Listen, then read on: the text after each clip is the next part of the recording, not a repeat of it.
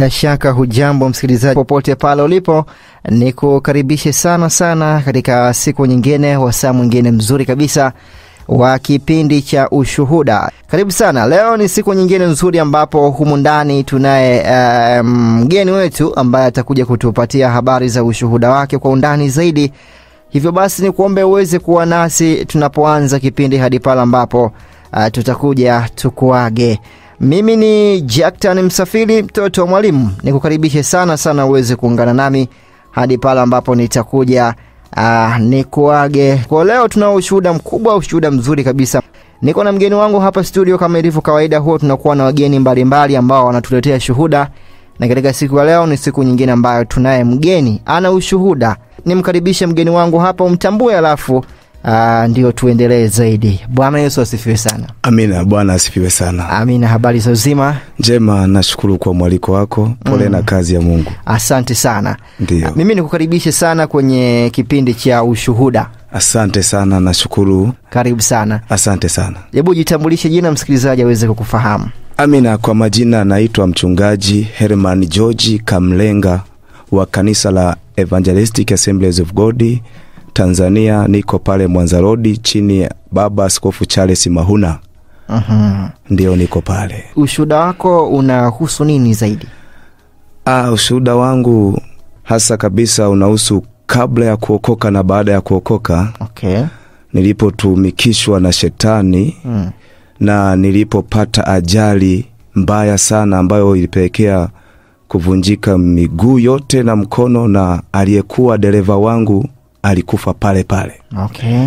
Awali ya yote nilikuwa nikihudumu pale EAGT Tumaini mkoani kwa miaka mitatu na sasa niko Mwanza Road. Ninashukuru kwanza kuipata nafasi kama hii. Mi naona kwangu ni neema ya Mungu na kuweza kutangaza kazi ya Yesu ni ya namna gani. Awali ya yote mimi nilikuwa naishi wilaya ya Urambo katika kijiji kimoja cha Ukonda Moyo, nikiwa naendelea na maisha na pia nikiwa na sali kama kawaida, lakini shetani alinitesa kanisumbua sana. Nilikuwa mpaka sasa, wazazi wangu wako kijijini pale Ukonda Moyo Urambo, naitwa mzee George Kamlenga yuko pale na mama mzazi, ila wamezeeka sana. Pia kuna mchungaji Peter Kamlenga yuko Urambo. Kwa hiyo hapa Tabora nipo mimi Hermani Kamlenga. Sasa ushuhuda wangu ni kwamba nilisikia habari za Yesu, lakini sikuweza kuokoka kwa muda uliokuwa unatakiwa, na nilienda niliendelea na maisha, lakini shetani alinisumbua sana. Baada ya kuendelea na maisha, nilikuwa nasumbuka sana mwili wangu na mtoto. Wakati huo nilikuwa naye mmoja, naitwa Emmanuel na mke mmoja. Nilikuwa niki, nikienda ofisini. Bahati nzuri nilipata ajira Mm. kwenye makampuni au mashirika ya tumbaku. Okay. Sasa nikikaa kwenye kiti kama hicho Mm. kichomi, nikapigwa kichomi, ila nikikaa nyumbani nakuwa salama, ila nikiingia ofisini kichomi kinanipiga, basi sikufanya kazi kwa amani. Ndipo nilienda kwa waganga huku na kule, nilitaja kidogo Jumapili, takribani waganga kumi na wawili, Mm. lakini sikupata msaada. Okay. na niseme tu a waganga, Mungu awasaidie na wao watubu na kuokoka, kwa sababu wanaokwenda kwa waganga wana dini, sio kwamba hawana dini, na tabu wanaendelea kuwa nazo. Basi baada ya kuendelea kwenda kwa waganga baadhi, sehemu moja ndipo nilisema kwamba tuliogeshwa dawa mchana kweupe, sehemu moja akaliua shokola pale mwenzangu tulienda naye asema ni kweli watu watuoni, lakini mimi nawaona na wanatucheka. Kwa kweli Ilikuwa mchana. mchana kweupe kabisa. Dakta, ni mimi nilihuzunika sana, ila kwa kuwa nilikuwa nimefungwa mm. sikupata kujinasua. Na, na yote hiyo hadi kwenda huko ilikuwa ni kwamba umeambiwa shida ilikuwa ni nini unasumbuliwa nayo? Ah, shida walisema kuna wamenitupia vitu kichawi Mm. kwa ajili ya nafasi ile ya kazi. mm-hmm. Kipindi hicho kwa kweli vijijini ilikuwa ni kipindi cha mwaka 1994 kwanzia Okay. kuanzia 94 94 ilikuwa kwa kweli mtu akipata kaajira Mm. hasa kijijini inaonekana ni waajabu sana mm. sasa nimeendelea na hali hiyo lakini sikupata msaada. Kulifikia wakati na naogopa hata kwenda ofisini. Lakini nikawa sina jinsi kanywa madawa nikaenda hospitali ya ya itigi. Lakini sikupata msaada kwa kweli. Nilipewa dawa za kunywa kama miezi miwili. Ah, wakati naendelea na zoezi hilo la maisha Na, na Na- hospitali huko ulikuwa unaambiwa shida ni nini? hospitali hawakuona ugonjwa Oh. na ugonjwa kwa hiyo tukaendelea na maisha kama hayo lakini huku tunaendelea na anasa Mm. ulevi na shughuli zingine mbalimbali kama kawaida Mm. sijalishi kwamba ninaumwa mm -hmm. oh, wakati sasa nataka tuende kwenye jambo la msingi kabisa ambalo sasa limenifanya kumshuhudia mungu matendo makubwa ni pale ambapo sasa ilitukia siku moja. Huku sasa nikiendelea na kazi ya pale urambo mjini. Tulikuwa tuna pikipiki hizi za mabwana shamba. Tunazitumia kwa ajili ya shughuli za tumbaku na mambo mengine ununuzi wa tumbaku. Kwa kweli hiyo siku nasema kwamba unaweza kusahau vyote lakini hiyo sizani kama itasaulika okay ndipo nilipo tulipokuwa na ndugu yangu mmoja ambaye sasa ni marehemu mm. anaitwa hamadi simbila naye ndio alikuwa amenibeba sasa kwenye pikipiki hiyo. Ni kilomita kama tatu kutoka urambo mjini kunaelekea kaliua. Mm. zamani kulikuwa kuna mti wa mwembe ulikuwa naita darajani mwembeni kama mwenyeji wa barabara ile ya kwenda kaliua. Ndipo ambapo tulipata ajali mbaya sana na hiyo ajali ilikuwa ni tarehe mbili mwezi wa tisa mwaka 1996 kwa kweli ilikuwa ni ajali kubwa mno. Tuligongana na gari aina ya toyota hilux uso kwa uso. Tunatoka urambo mjini kama saa nne saa nne tu. Ndipo Asubuhi. asubuhi. Okay. ndipo tulipozimika pale wote wawili. Tulipozimika pale mimi sikujua tumechukuliwaje mpaka kufika hospitali moja ya ndala. Mm. Uh, kitabu cha yeremia sura ile ya kwanza na mstari wa nne inasema mungu anakutambua. Hebu naomba nisome hapo kwa sababu ndipo muujiza wangu ulianza kutokea kabla sijaokoka kabisa hmm. yeremia sura ile ya kwanza na mstari wa nne nasema neno la bwana lilinijia kusema kabla sijakuumba katika tumbo nalikujua na kabla hujatoka tumboni nalikutakasa nimekuweka kuwa nabii wa mataifa sasa haya ni maajabu makubwa sana. Kwa sababu baada ya kuanguka pale sisi tulipoteza ufahamu. Mwenzangu ndio akaishiria kabisa ambaye alikuwa ndio dereva. Baada ya hapo sasa nilikuwa tulikuwa tunafanya kazi. Nirejee kidogo hapo katika mashirika haya ya tumbaku. Nimefanya kazi mimi nikiwa karani cha, chama cha ta, tareku zamani kaja wetco baada ya hiyo tukaenda apex baada hayo yakaja makampuni haya ya wazungu Mm. nilikuwa nafanya standard commercial stancom kwa kifupi ndio ambao tulipatia ajali tukiwa katika ofisi hiyo Na, Tu- na, na kwenye ajali pale ile ilikuwa ni, ni ajali ya aina gani? Yaani ilisababishwa na nini hasa kama unakumbuka? Aa, baada ya maelezo mimi sikumbuki Mm. au nilipata maelezo kwa sababu nilichokisikia pale ilikuwa kama mlio wa risasi tu mara moja tu afu na kukaa kimya. Kilichoendelea hapo sikusikia tena. Kwa hiyo baada ya ajali ile wao walisema kwamba ilisababishwa na dereva wangu aliokuwa amenibeba. Aa, hakuweza kuchukua tahadhari na mvua ilikuwa inanyesha. Kwa hiyo hawakuonana vizuri akawa ameingia kwenye saiti ya gari sasa nitarejea kidogo hapo baada ya ule usingizi sasa. Aa, kufa kufa tuseme kufa. Kufa ni kulala. Mimi nililala usingizi lakini wakati wa, nilipolala usingizi tayari kumbe nilikuwa nimeshapoteza fahamu. Hmm. e, nimepoteza fahamu lakini si fahamu tu za za kuto kujitambua. Nimepoteza fahamu za kuto kuongea lakini nasikia kinachoendelea. Ndio maana sauti ya wokovu nilipoanza kuisikia nilifikiri mbali sana.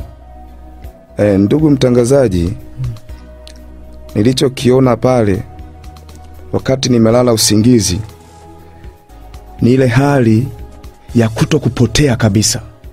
Kwamba mtu anakufa lakini bado ana, ana uhai. Mm.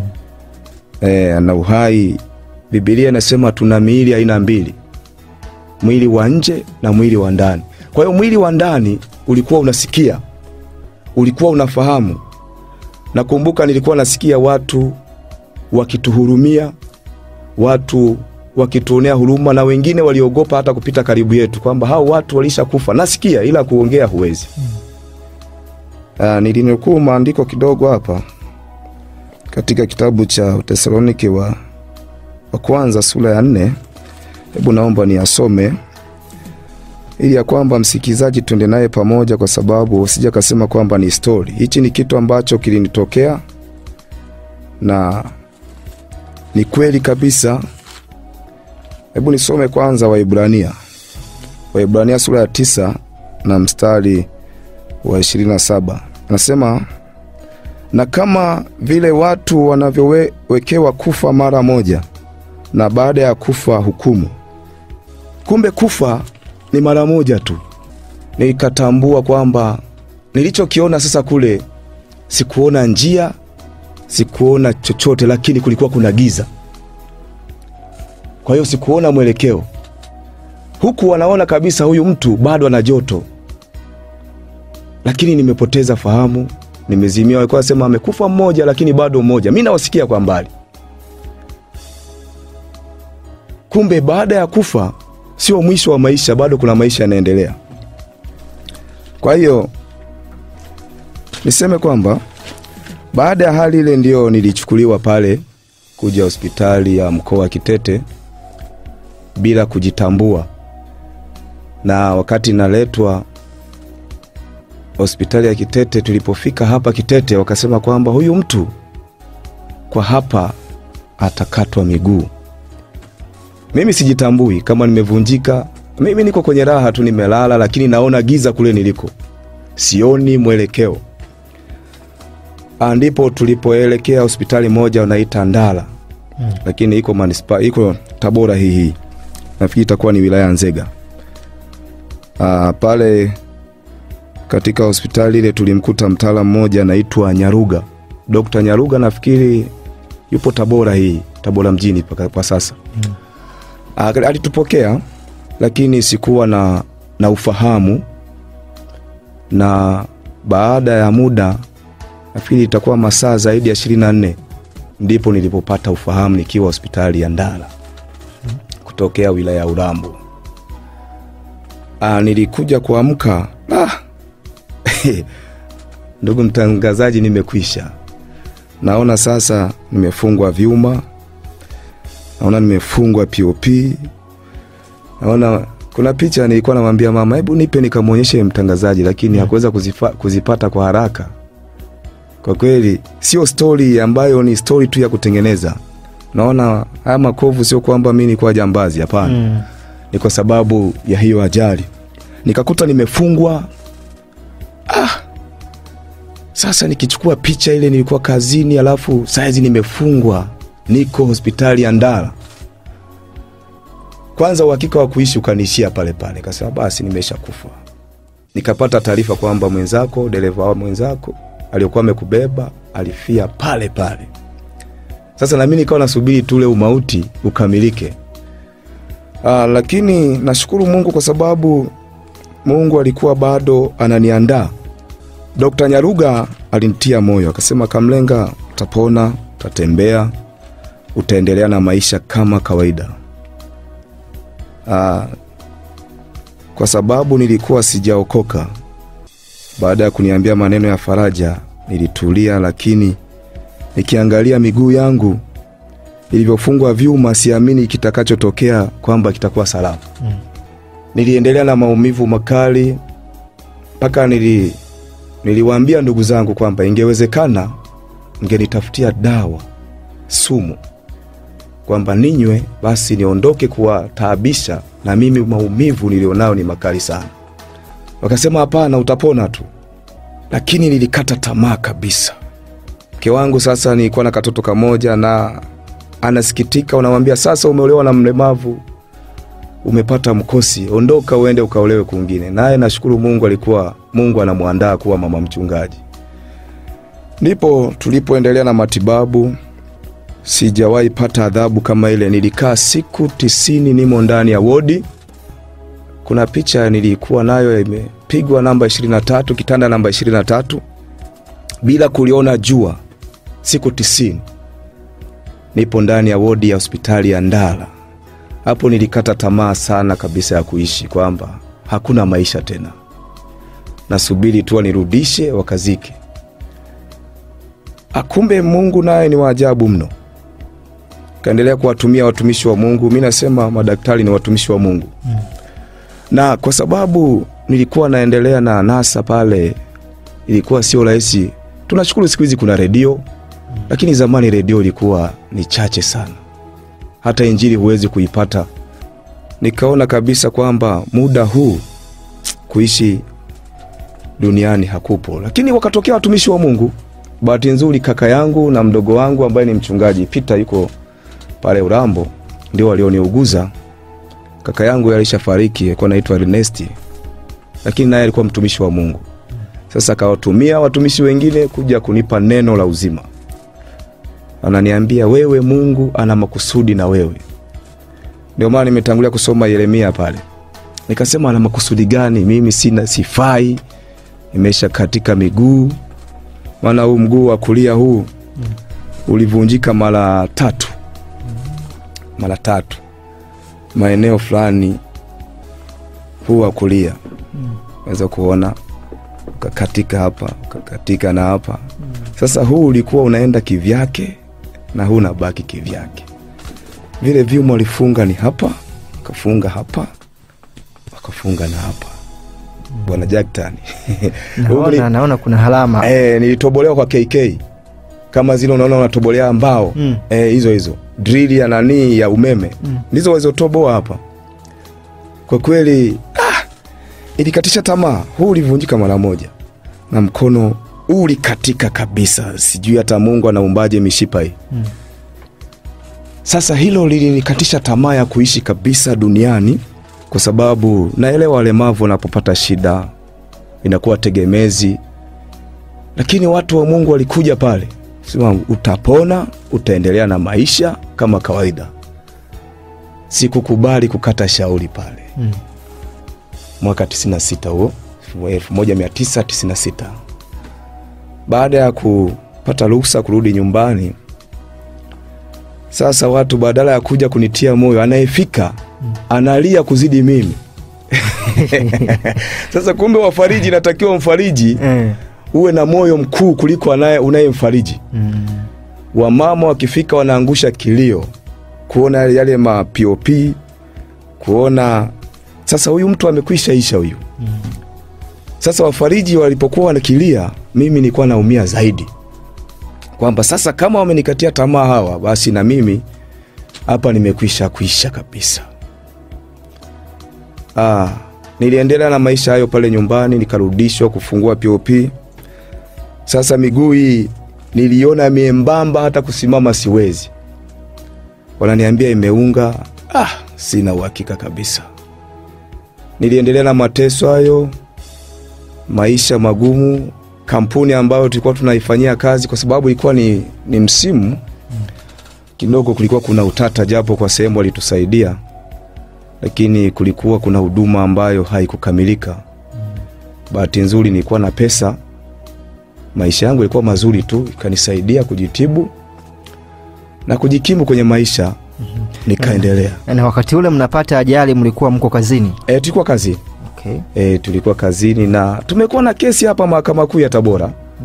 Tukidai ile kampuni ya Standard Commercial mpaka walipofunga shughuli zao wakapotea. Walipopotea, kuna mtumishi mmoja tena, umenikumbusha vizuri, ambaye tulikwenda na mtumishi mmoja anaitwa Kasomo, mchungaji Kasomo, kama unafahamu. Namfahamu. Ah, tukaeleza pale, siwezi kumtaja kwa sababu sasa alishakuwa marehemu. mm. Mungu amsaidie tu mahali alipo.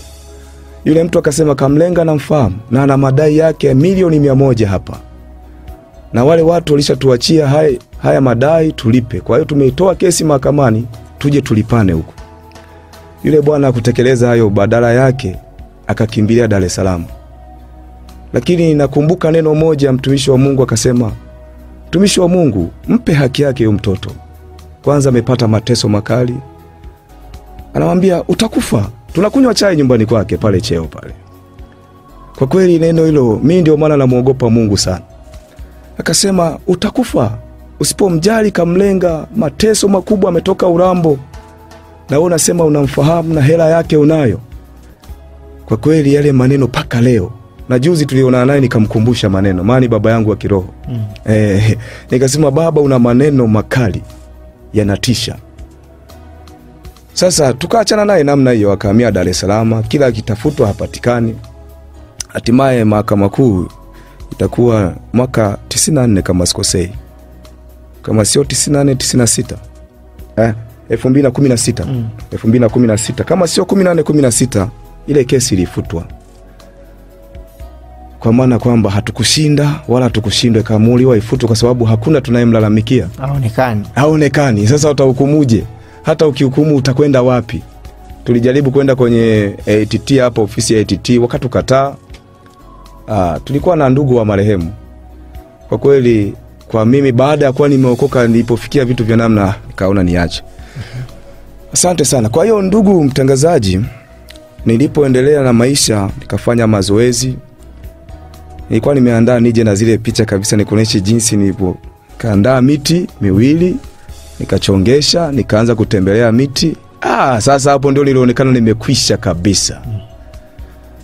Ah, mwaka mwaka tisini na nane elfu moja mia tisa tisini na nane ndipo nikaanza kurejea sasa na kutafakari neno la Mungu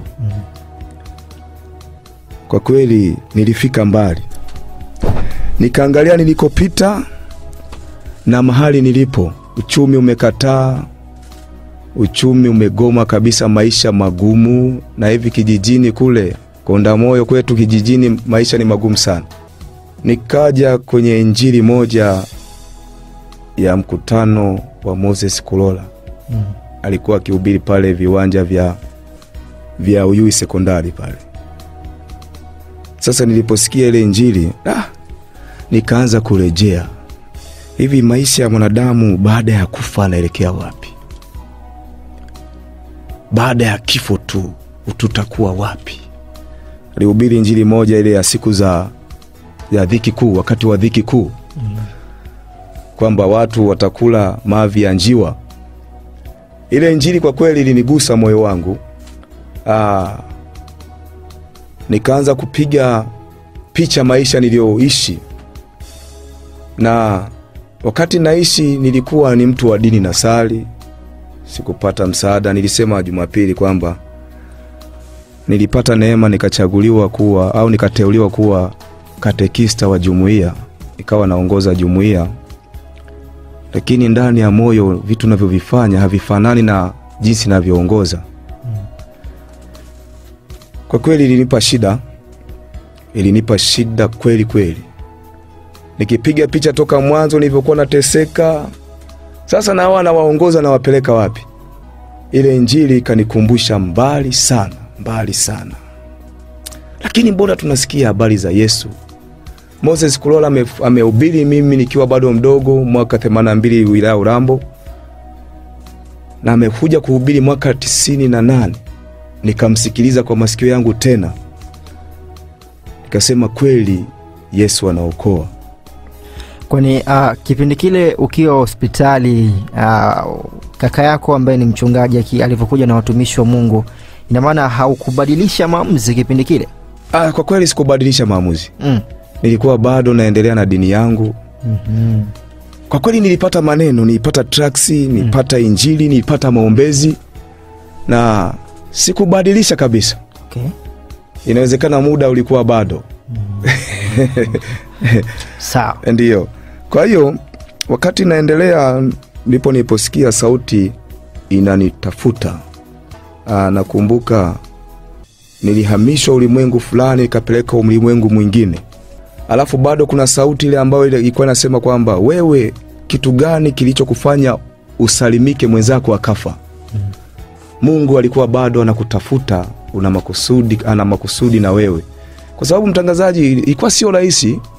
Wakati tunapata vihela ilikuwa hela ndogo sana. Mshahara elfu kumi na mbili lakini tulikuwa tuna starehe kweli. Mm. sasa sio rahisi kusikiliza injili na mtu kuweza kubadilika. Kumbe mungu naye akawa na mpango wake kwamba ah, ngoja tutakutana kwenye kona. Kwa hiyo nilipopata ile injili sasa ile injili ikanibadilisha nakumbuka mimi niliokoka ilikuwa saa nne usiku. Pale pale sikunyosha mkono. Wakati mtumishi wa mungu akinyosha hivi naona watu wanaanguka mimi nazidi kurudi nyuma. Najificha nyuma ya mwembe pale ili ile nguvu isinipate. Lakini kumbe nguvu imenikamata. Baada ya kufika nilipofikia nililia sana. Siku kama saa nne. Na kwa kuwa nilifikia kwa mtumishi wa mungu akanipa msaada huo wa toba. Nikawa sasa moyo wangu nasikia umefunguliwa. Mm-hmm. nilipofunguka moyo wangu nilifurahi sana. Nilifurahi sana. Kumbe kuokoka ndio hivi. Sasa nikabaki na napiga na, na, na hesabu kwamba wale waliokuwa waniambia mbona sikuokoka? Kumbe kuokoka sio kubadilisha dini. Kuokoka ni kubadilika wewe mwenyewe na kuokoka ni kupata msaada wa mungu kabisa halisi. Labda nikukumbushe tu juzi juzi nilikuwa na msiba pale mwanzarodi. Mm. Aa, ndugu mtangazaji ni lazima tumshuhudie mungu matendo makuu. Wakati nahubiri pale nilihubiri injili pale ndio tunaelekea kuzika. Lakini mwisho wa injili nikasema yesu ndiye bwana na yesu ni mwana wa mungu lakini pia yesu ndiye njia ya kutufikisha mbinguni. Asiyemkubali yesu basi hawezi kufika mbinguni. Ah, mtu mmoja mtu mmoja alitaka kunipiga mawe. Mm-hmm. aliinuka na kupinga kabla hata sijamaliza ujumbe wangu. Lakini nikaona basi ni kwa sababu shetani tu wamefunika. Hao watu wenzetu aliinuka haraka sana pale na kupinga. Sema umehubiri vizuri lakini ume, umeingiza jambo sio lenyewe kabisa. Yesu mwana wa mungu. Amini mi nikasema sisi tume, kwa kuwa sisi tumeshasema haturudii mara ya pili. Kwa hiyo akabaki anaongea na wengine anafoka anaendelea. Huku tunaendelea na msafara wa kwenda kuzika. Ujumbe lakini umefika. Kwa hiyo yesu ni mwokozi. Yesu ni njia. Baada ya kuipata hiyo njia nikiwa bado nina maumivu lakini kwenye miguu akasema ukasema ukimwamini yesu utapokea uponyaji kwa kweli mimi kidogo nakuwa na kale ka uchanga sikuamini kwa saa ile ile lakini namshukuru mungu. Baada ya kuokoka tu ile shida ambayo nilikwambia, nimeeleza na wasikilizaji wamesikiliza kwamba nilikuwa na shida ndani ya ndani ya mwili ambao nilikuwa nikikaa kwenye kiti. Kiti kinakuwa hakikaliki. Ikaongezeka na shida ya ajali vikawa vitu viwili sasa vinanisumbua. Baada ya kuokoka tu saa ile ile ile shida mimi ilitoka kabisa. Nakumbuka kitu cha kwanza nilipoingia kanisani mwili ulisisimka.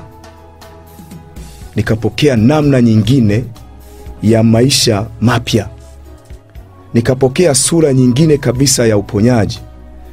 Sasa nilisikia kwamba yesu anaponya mifupa ah, kuna kuna mtu mmoja baada ya kutoka nikurudishe kidogo. Mm -hmm. baada ya kutoka hospitali ile ya ndala alinijia akasema yeye ana uwezo wa kuwa kama anakamata hivi kwa pembeni lakini hagusi mwili. Mm. alafu mifupa inaungana. Sasa kwa sababu nilikuwa nimekwisha kupewa neno kule, japo sijaamini, mimi nilimkatalia, nikamwambia usichanganye vitu hivyo na utaalamu wa hospitali, tuache hospi- hospitali washughulike. Ingekuwa ni hivyo basi nisingeondoka kwenda hospitali e, ningekaa hapa nyumbani alafu ukanitengenezea. Ah, yule bibi kizee alinichukia kweli, akaona sasa hapa unga umemwagika kweli, uweke tu mikono alafu upone. Nikamkatalia kabisa, maana yake angeweka na huku wameshanifanyia shughuli ya hospitali, ingeonekana yeye ndio kaniponya. Sasa neno lile nilikuwa nimepandiwa kule likawa bado linafanya kazi. Kwa nilipoambiwa kwamba Yesu ni mponyaji wa mwili na roho, nilifarijika sana. Aa, na japo mke wangu kidogo alisita, alisita akasema nimechanganyikiwa, yawezekana ajali ile imesababisha akili yangu, labda mishipa ime, imeleta shida katika kichwa Ah, nikamwambia mimi ni mzima na nilikuwa na na vitabu fulani vya jumuiya. Nikamwambia na hivi vitabu na kabidhi na orodha ya majina ya waumini na kabidhi mimi ni mzima kabisa. Sasa akasema "Ah, basi kama ni hivyo tutaona utakapofika. Kwa kweli niliendelea niliendelea mbele zaidi nikimwabudu mungu sasa. Alafu nasikia sasa mwili unakaza mifupa inaponywa. Sasa najipima, hivi ni kweli napona? Lakini ndivyo navyopona. Mifupa inavyozidi kukaza na ndivyo navyozidi kuanza kunyanyua mguu nikiwa na, na zile sapota zile ambao nikabaki nao moja. Baada ya kutembea sasa, hatimaye nikatupa na ile nyingine. Sasa nikabaki nasubiria ule ulemavu sasa, kwamba utakwenda mguu mmoja mfupi, mmoja mrefu. Ah, waliponiambia watumishi wa Mungu kwamba kwa Yesu halipo hilo, wewe umepona, utatembea vizuri na utafanya kazi zako vizuri. Kwa kweli ni kitu ambacho sikukitarajia kabisa maishani mwangu, kwamba naweza nikarudia hali kama ya kwanza, maumivu yanaweza yakakatika kabisa, nisisikie ganzi. Maana kuna watu waliniambia kwamba itakuwa inapata ganzi uh, utakuwa unasikia shida mwilini. Kwa kweli sikusikia shida yote mm-hmm. Jakta Msafiri mm-hmm. Nikaendelea na maisha kama kawaida, ndipo nilipokubali kwamba Yesu ana uwezo mkubwa aliposema katika matayo nafikiri kwamba leteni mizigo yenu, leteni shida zenu hatanii. Na niseme tu kwamba habari hizi za wokovu sio sawa na vyama vya siasa leo uko chama hiki, leo hiki. Habari za wokovu ni za kujitegemea kabisa. Mimi maishani mwangu niseme kwamba naishi sasa kwa ruzuku ya uhai kwa sababu uhai wangu ulikuwa umesha safiri, ulikuwa umeshaondoka, lakini Mungu hakupenda niende jehanamu, alipenda nimtumikie, hatimaye nifike katika uzima ule wa milele. Niseme kwamba ushuhuda wangu kwa kweli ukaishia uka, hapo huu wa kwanza ambao ulikuwa kabla ya kuokoka mpaka kuingia kuokoka. Sasa ndipo nilipompokea Yesu kipindi hicho tarehe nne mwezi wa nne elfu moja mia tisa tisini na nane hapa hapa mjini Tabora. mm-hmm. mm. na yale magongo yote uliyatupa lini rasmi kabisa? Ah, yale magongo niliyatupa baada ya mwaka mmoja 96 97 nikayatupa nikayatupa tena, nilihifadhi kama kumbukumbu, nafikiri mpaka sasa yapo mm-hmm. lakini yako kule nyumbani wilaya ya Urambo, kijiji kimoja cha Ukonda Moyo. Nilisema haya yakae kama kumbukumbu e, Okay. e, wakati huo nilikuwa na mtoto mmoja. Sasa kwa sasa nao nina watoto watano sasa na waijukuni nao sasa Oh. Sawa. e, ndio Sasa hebu tu, tu, tu, tu, tufahamu sasa safari yako ya baada ya kuokoka hadi kuwa mchungaji sasa hivi unachunga ilikuwaje? Ah, sawa. Baada sasa ya kuokoka, kwanza nilitamka, najua sikujihisi kama niko salama Mm. kulingana na matendo niliyokuwa nayo. Nilihisi kabisa hapa mimi nilishaugua, na kwa sababu kipindi kile ndio gonjwa la ukimwi limeingia. Sasa nikipiga picha, unajua kuna jamaa zangu wengi walishakufa, hawapo kabisa duniani. Nilichokisema ni kwamba Yesu, ukiniponya magonjwa yote nitakutumikia. Sasa mimi sikujua kama lina ukubwa kiasi gani. mm. Kwa hiyo nilipotamka hivyo, kwa kweli na Yesu hakukawia kuniponya mimi sikuwa na madhara ya aina yote. Nakumbuka siku moja wamesema kwamba tukapime aa, watu wa, wa damu mm -hmm. mimi nilikwenda kupima, na sisi kama wachungaji tulikuwa wa kwanza, na kwa bahati mimi sikuweza. Wakaniambia, mchungaji, tukupe majibu yako. Nikamwambia, nipeni majibu yangu, mm. wala hakuna shida, maana ninaye Yesu. Ah, hautaogopa kabisa. Nikamwambia, siwezi kuogopa kwa sababu niliyekuja kupima ni mimi kwa hiari yangu mwenyewe. Wengine tukiwapa majibu wanakimbia. Tulifanyia pale uwanja wa Ali Hassan Mwinyi pale. Ah, kwa hiyo nikapokea majibu yangu pale. Ah, kumbe ukiwa na Yesu damu yangu ilishikwisha kutakaswa. Kwa hiyo nikawa mzima kabisa. Sasa ni kwa kuwa nilisema kwamba Yesu ukiniponya nitakutumikia. Mm -hmm. Asikuchelewa kwa kweli. 98 99 nikawa shemasi.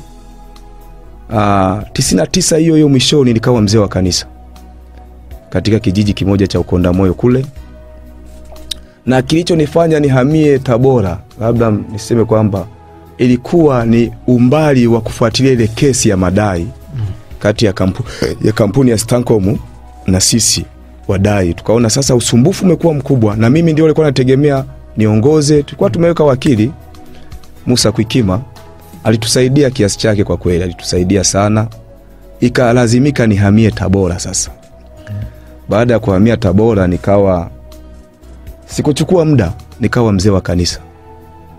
Basi nikaendelea na shughuli zangu. Aa, kazi kubwa niliyokuwa nayo sasa nilikuwa ni ya mikono, shughuli za ujenzi. Ni mimi ni fundi mwashi e, ni fundi ujenzi mzuri tu. Baada ya kuendelea nayo ndipo sasa sauti ya Mungu inaendelea kuongezeka kwamba nataka ukanitumikie. Aa, nikaanza kufanya umishonari vijijini na ubili kuna kule, nikawa mwinjilisti wa jimbo letu la Tabora Kusini EAGT, na nikawa nikihubiri njili nafanya na umisionari wa ujenzi. Kuna kanisa moja nimejenga Isikizia pale kwa kujitolea kabisa bila gharama yoyote ile kwa kumtumikia Mungu. Ah, nilipoendelea wito wangu kwa kweli ulikuwa ndani sana, lakini askofu wangu wakauthibitisha kwamba mimi nimeona mwanangu unaweza kutusaidia. Wakati huo ni katibu sasa wa kanisa lile la Mwanza Road. Akasema najuta, lakini kukutoa. Ilichukua kama mwaka mzima, niko nafikiri, naiuliza familia, hatimaye wito ulipofika siku ilipofika, uh, itakuwa elfu mbili na kumi na nne nikawa nimepelekwa pale kituo hicho cha Tumaini EAGT mkoani. Lile kanisa alikuwepo mchungaji, lakini aliugua.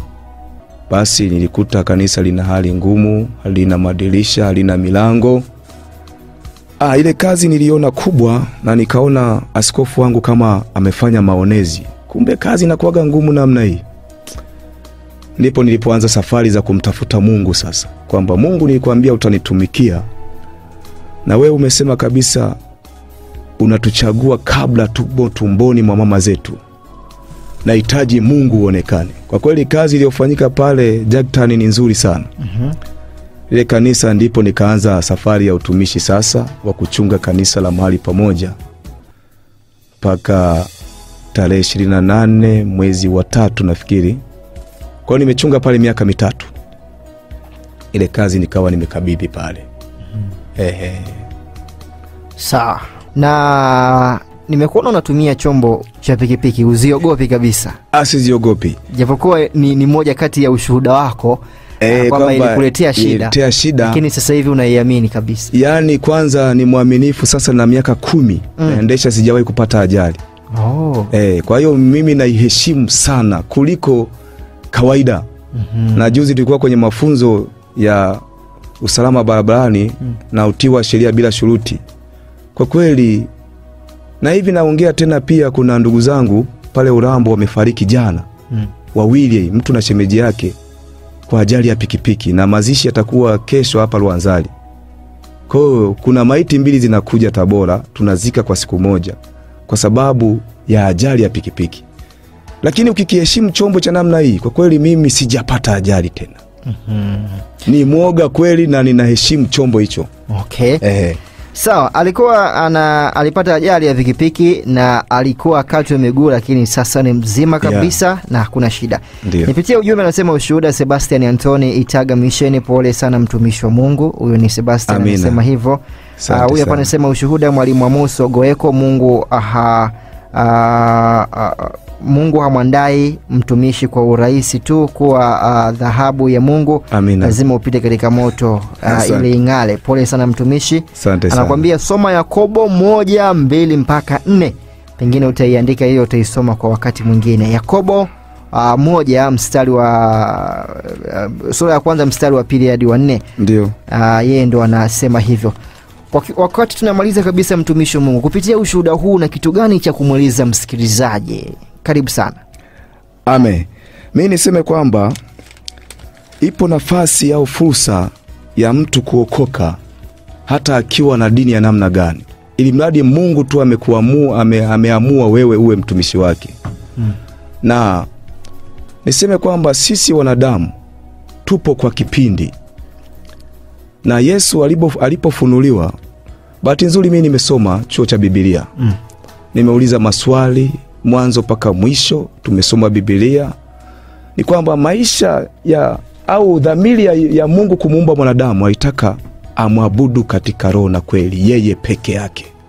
Ndio maana mahali pengine panasema Mungu wetu ana wivu, na mtu anapoweza kupitia misukosuko kabla ya kuokoka au baada ya kuokoka Mm. asikate tamaa, asikate tamaa, kwa sababu Mungu hamchukui mtu kirahisi rahisi, lazima ampime, lazima utapita kwenye vipimo, na si rahisi kabisa kwamba mtu ainuliwe leo tu kesho yuko juu. Hapana, kuna vipimo na kuna hatua ambazo mtu anaweza kupitia. Niseme tu labda kwa wasikilizaji ni kwamba kuokoka kupo, yaani ni kitu ambacho ni cha lazima kama mtu anahitaji kwenda mbinguni. Mm. Nakumbuka nilipokuwa pale pale kanisani EAGT Tumaini mkoani, kuna watu walikuja wa dini, walikuwa nakuja usiku, nawapa msaada, lakini nawaambia sisi si waganga wa kienyeji. Sisi tunaponya kwa neno la Mungu. Tunachotaka watu wasipotee kwa shetani, waje kwa Yesu. Ndicho nilichokuwa nawaambia. Hakuna malipo yote, kawambia tumepewa bure, tunatoa bure. Kwa hiyo niseme kwamba Mungu, nimeshukuru kwamba Mungu amenitumia na ataendelea kunitumia, lakini kwa wasikilizaji niwaambie kwamba ukweli upo, kwamba wokovu upo na ni vyema watu wabadilike. Mimi nilipokuwa naenda kwa waganga wa kienyeji tulikuwa tunakutana mpaka viongozi, kumbe hata viongozi nao wanatakiwa waokoke, Mm. tena kuokoka kwa uaminifu kweli kweli, ndipo shetani anapoweza kukuogopa. Lakini kama hujaokoka kweli kweli, shetani hawezi kukuogopa, atakutesa tu. Kwa sasa unapatikana wapi?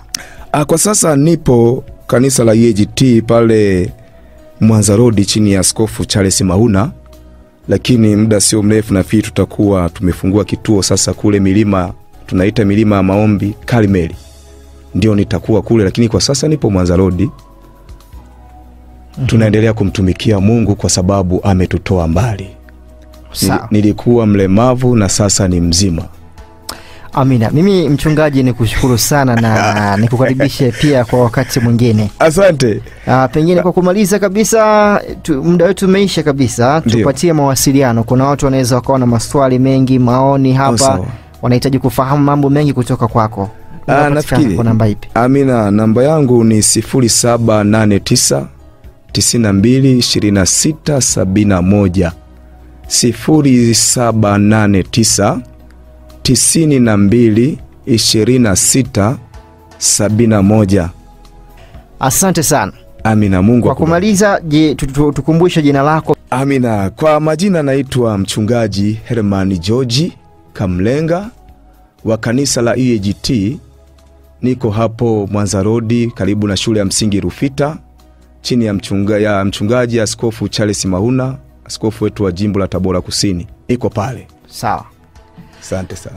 Ni kushukuru sana wewe ambaye umeweza kufuatana nasi kutuma ujumbe mfupi na wewe ambaye umeweza kufuatilia tu ah, tangu tuanze kipindi hiki hadi sasa ambapo tunafika mwisho. Ni matumaini yangu kwamba utakuwa umebarikiwa sana sana na kile ambacho mtumishi wa Mungu ameweza uh, kutuletea katika siku ya leo. Kwa lolote mtafute katika namba hiyo, lakini kama una ushuhuda, tunakukaribisha sana, leta ushuhuda wako hapa, watu waweze kubarikiwa kupitia ushuhuda, ama unaweza ukatutafuta kupitia namba yetu ya simu. Kama uko mbali, tukupatie uh, mwelekeo ni namba ya 0766 29 43 35 0766 294335.